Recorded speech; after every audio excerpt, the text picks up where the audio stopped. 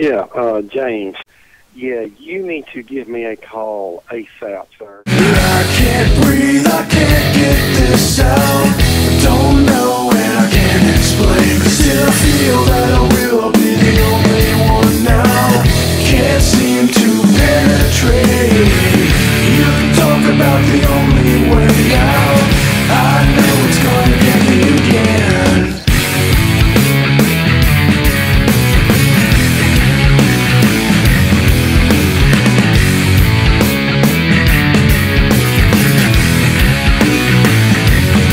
Why do you have to tell me the things you tell me?